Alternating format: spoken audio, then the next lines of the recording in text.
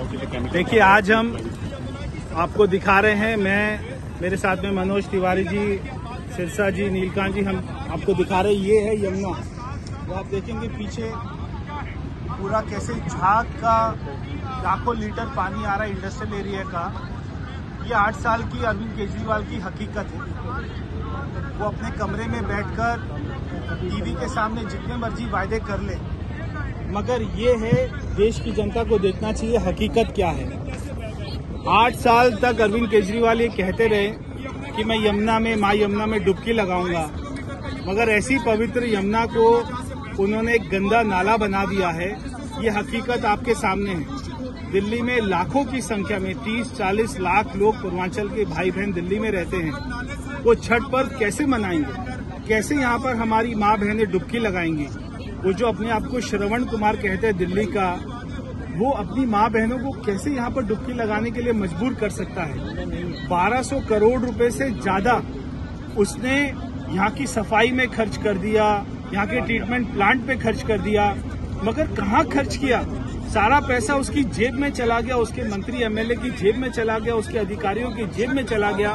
मैं चाहता हूँ मनोज तिवारी जी दिखाएँ कि कैसे ये झाग आपको दिखाई दे रहे हैं। और सबसे सनसनीखेज जानकारी इसमें ये है, मेरे दिल्ली के भाई बहन, पूरा देश देखे, इस झाग को कैमरे पे न छुपा सके वो, कैमरे पे न दिखे, इसके लिए वहाँ देखो केमिकल इसमें डलवा रहे हैं। वो केमिकल बहुत ही खतरनाक है और वो केमिकल हमने जब्त करवा लिया है। पुलिस को हमने वहाँ बुला लिया है। इस झाग को छुपाने के लिए केमिकल इसमें डाला जा रहा है।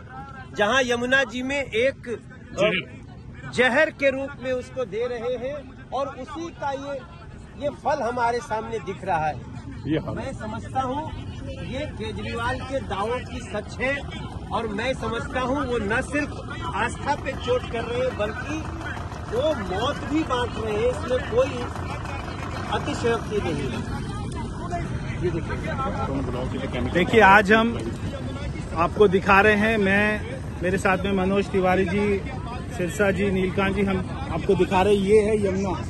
तो आप देखेंगे पीछे पूरा कैसे झाग का, लाखों लीटर पानी आ रहा है इंडस्ट्रियल एरिया का।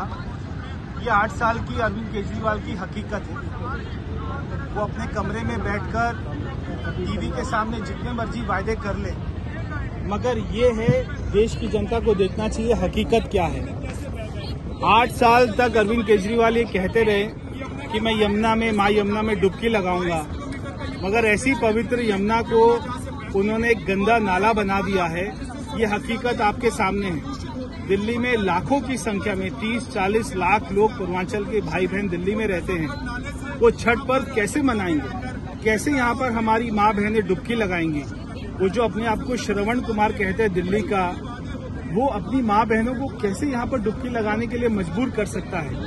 1200 करोड़ रुपए से ज़्यादा उसने यहाँ की सफ़ाई में खर्च कर दिया, यहाँ के ट्रीटमेंट प्लांट पे खर्च कर दिया। मगर कहाँ खर्च किया?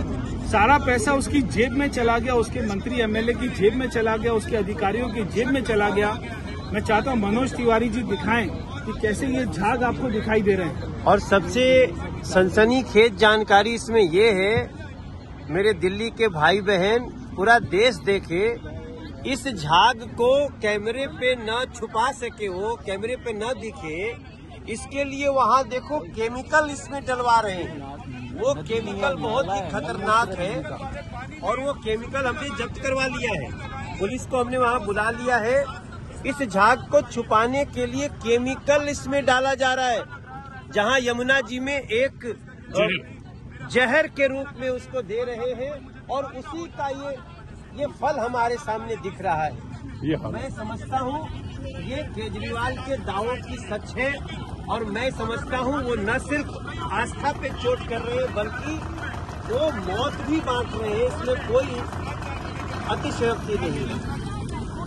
ये देखिए।